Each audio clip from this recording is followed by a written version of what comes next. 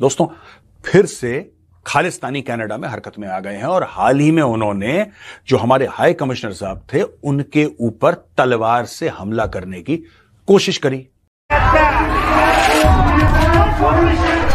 Canada के कई शहरों पर राज करने वाले खालिस्तानी आजकल सड़कों पर पिट रहे हैं। भारत को गाली देना इन गद्दारों को महँगा पड़ रहा है। आज बहुत बड़ा धक्का दिया है खालिस्तान को। खालिस्तान की जो ट्रेजरी थी उसको जब्त कर लिया। It's not Pakistani soil alone that is being used for anti-India activities.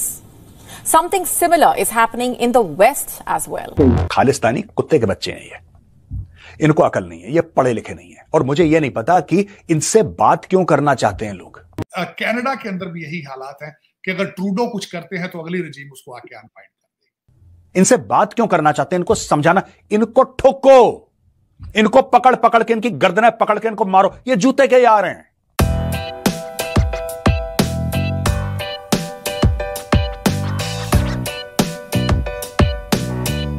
आज इंडिया पर दुनिया प्रेशर नहीं डाल सकती। आप कभी सुअर से बात करते हैं क्या? Do you ever talk to pigs you don't talk to pigs you give a kick to the pig end of story यार आज दुनि, दुनिया इंडिया के ऊपर प्रेशर डालती भी है तो उनका जो रवैया होता है वो आपको बता रहा होता है कि वो प्रेशर बाय करने वाले नहीं है। हमारे ऊपर यही इल्ज़ाम लग रहा है और यही हमें कहा जा रहा है कि जनाब आप एंटी इंडिया जो मिलिटेंट ऑर्गेनाइजेशन हैं उनको सपोर्ट कर रहे हैं। ठाट साहब हमसे कहाँ भूल चूक हुई है? फिर से खालिस्तानी कनाडा में हरकत में आ गए हैं और हाल ही में उन्होंने जो हमारे हाई कमिश्नर साहब थे, उनके ऊपर तलवार से हमला करने की कोशिश करी। वो तो भला हो, कैनेडियन पुलिस का जिन्होंने उनको पुशबैक करा अरेस्ट हुए, तब जाके मैटर कंट्रोल में आया। सबसे पहले मैं आपको यह बताऊँगा कि क्या एग्जैक्टली exactly हुआ है मेरे पास नोट्स पड़े हुए हैं, और फिर मैं उसके बाद एनालाइज करूँगा, और कई सारी जो इसमें मालूमात हैं, जानकारी है, ये हमने वेबसाइट से ली है। एनआईए नेशनल इन्वेस्टिगेशन एजेंसी की वेबसाइट है। उसके बारे में भी मैं आपको विस्तार पर बताऊँगा। ये वही वीडियो है जो मैं काफ़ी टाइम से कह रहा था कि मैं बनाऊँगा बनाऊँगा। ये वही वीडियो है दोस्तों। दोस्तों, ये फोटोग्राफ्स जो आप देख रहे हैं, अपने स्क्रीन पे वो फोटोग्राफ्स हैं जो ये दिखाती हैं किस तरीके से खालिस्तानी आगे बढ़े हैं संजय कुमार वर्मा जी को मारने के लिए। और ये तब से हुआ है जब से गुरपतवंत सिंह पन्नू ने यह बोला है कि इंडियन डिप्लोमेट्स को टारगेट कर। दे खालिस्तानी कुत्ते के बच्चे हैं ये। इनको अकल नहीं है, ये पढ़े लिखे नहीं है। और मुझे यह नहीं पता कि इनसे बात क्यों करना चाहते हैं लोग। इनसे बात क्यों करना चाहते हैं? इनको समझाना, इनको ठोको। इनको पकड़ पकड़ के इनकी गर्दनें पकड़ के इनको मारो। ये जूते के यार हैं। आप कभी सुअर से बात करते हैं क्या? Do you ever talk to pigs you don't talk to pigs you give a kick to the pig end of story यार। एंड ऑफ़ स्टोरी पता नहीं। ये मेरे हत्ते नहीं चढ़े किसी दिन। खालिस्तानी हो मैं तुम्हें एक बात बताता हूँ, तुम कनाडा में हो यूके तुम मेरे हत्ते चढ़ो। मैं जिससे आलू छीलते हैं ना, उससे मैं तुम्हारी खाल ना निकाल दी पीठ की, मेरा नाम बदल देना। और मेरे दिल में कोई रहम नहीं है। मेरे दिल में कोई रह तुम मिलोगे, मैं तुम्हें ठोक दूँगा। तुम मिलो, मैं तुम्हें ठोक दूँगा। तुम मिल जाओ कभी मुझे। मेरे दिल में ज़ीरो परसेंट रहम है। ठीक है? क्रूर सिंह अपना ही लौंडा था। समझे बेटा? अब देखो, इन्होंने ये सब ड्रामा करने की कोशिश करी है दोस्तों। अब हम गए एनआईए की वेबसाइट पे। ये तो एक मामला हो गया ना। ये तो एक मामला हो गया कनाडा में। अब मैं आपको बताता हूँ क्या एनआईए ने क्या करा इनके खिलाफ और क्यों ये यूके में इनको मौत आ रही है। सरकार बदलने दो खालिस्तानियों। जस्टिन ट्रूडो जाएगा इस बार। हम लोगों ने पैसा लगा रखा है जस्टिन ट्रूडो के खिलाफ कनाडा में। हमारे बंदे कनाडा में तुम देख लेना। तुम देख लेना और मैं स्पेशल वीडियो की अपील करूँगा, जितने भी वहाँ पे इंडियंस हैं।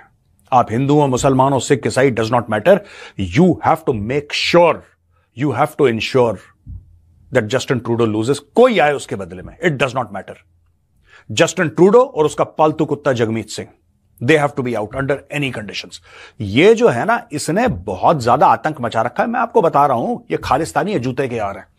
ये पंजाब में क्यों नहीं बोलते? इंडिया में क्यों नहीं बोलते? कभी आपने सोचा है? दिमाग लगाओ। ये इंडिया में क्यों नहीं करते? ये रेफरेंडम फेफरेंडम।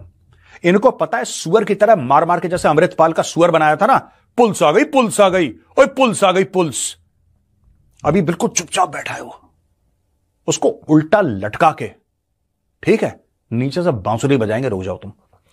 तुम्हें जब तक जूते नहीं पड़ेंगे ना, खालिस्तानी, तुम बिना जूते के मानते ही नहीं हो।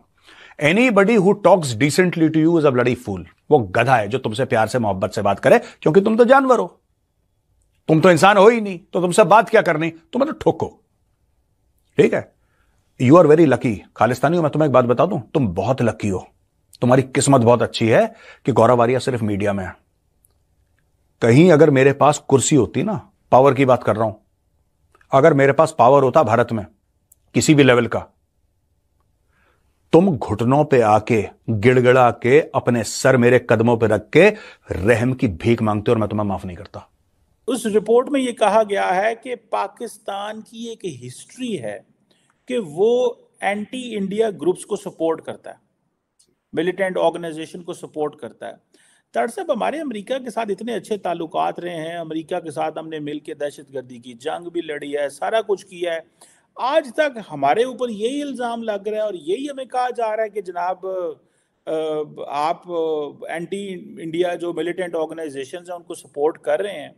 ठाट साहब, हमसे कहाँ भूल चूक हुई है कि हमने जाने भी दी पैसे भी लगाए नुकसान भी कराया और आज अमेरिकन इंटेलिजेंस कम्युनिटी जो है वो थ्रेट असेसमेंट करे और ये कहे और वही बात करे जो डॉक्टर जयशंकर वाशिंगटन में न्यूयॉर्क में लंदन में खड़े होकर करते हैं वो वही बात कर रहे हैं। सो जो डॉक्टर जयशंकर के अल्फाज हैं मैं समझता हूँ अमेरिकन इंटेलिजेंस जो कम्युनिटी की जो असेसमेंट है वही है तो फिर हमारी हम हमने जो इंटरनेशनल कम्युनिटी और अमेरिका के साथ मिलके वो जो किया बंदे मरवाए सारा कुछ जो वो किधर गया? तार साहब जरा इस पर थोड़ी रोशनी डालें। कि इंडियन पंजाब के जो सीएम हैं भगवंत मान उनकी तरफ़ से स्टेटमेंट आई है कि जो खालिस्तान मूवमेंट है उनके जो लीडर्स हैं खालिस्तान मूवमेंट के उन्हें सपोर्ट कर रहे हैं पाकिस्तान आप इसके ऊपर क्या कहना चाहेंगे कि क्या पाकिस्तान खालिस्तान मूवमेंट को फंडिंग कर रहा है या नहीं?